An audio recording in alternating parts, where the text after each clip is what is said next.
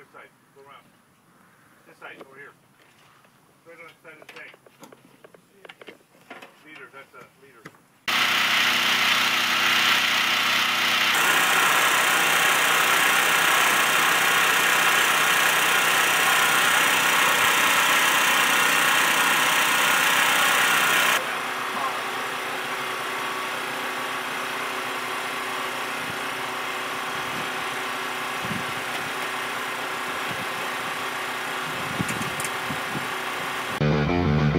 Shoot!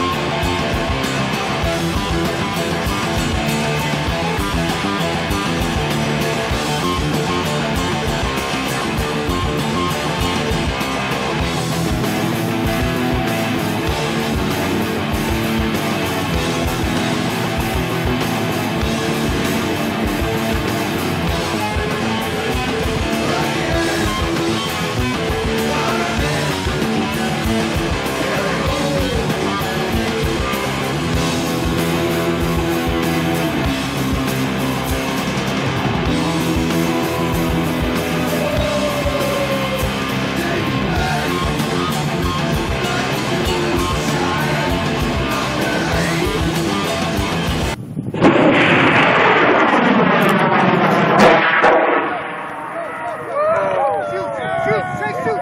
Say Shoot, fuck. Yeah! Yeah! Yeah! Yeah! Watch the rocket! Watch the rocket! Yeah! Yeah! Yeah! Yeah! Tell him, tell him it's perfect. Tell him it's perfect. Nice, perfect, perfect, nice. Come on, let's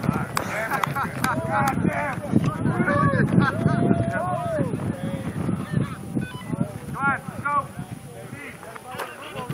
Watch that rocket! Watch that rocket! Top speed. Uh, you're looking good. A little fast, baby. Go the other chute. Come on, Mike. Come on, man. Yes. Okay.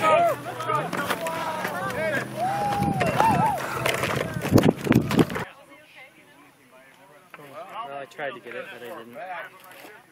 On a GoPro or whatever little device he had there.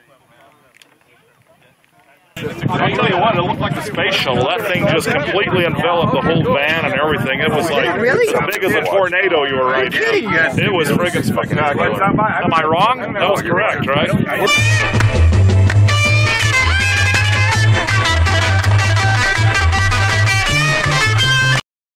So, um, anyway, when I when I launched, I uh, it looks like it went straight, but it felt to me like once I had left the ramp, but you're off, I'm already 200 foot up in the air. I'm thinking I'm off the ramp. It turned left, and I and it, then it felt like it went upside down, and I thought, how's that possible? And then I remember one chute coming out, and I don't know if I pushed it or if the automatic chute did it, and, and I felt it coming down. It was certainly, I, I saw the motorhome. I saw people waving, and and I thought, I'm coming down too quick. So I, I found the walkie-talkie that I was had on me, and I called one of my crew members. And I said, I think I'm coming down too quick. He says, it looks like you are. So then I let it drop a little bit. When I pushed the second parachute, it opened up. I don't know. It's right in time. Perfect timing. Yeah, You were coming too fast. coming too fast. You were coming too fast. I thought it, it what it looked like. Well, keep screaming, pull him off, pull him off. But Oh, yeah, because I actually did hear somebody from the ground yelling at me.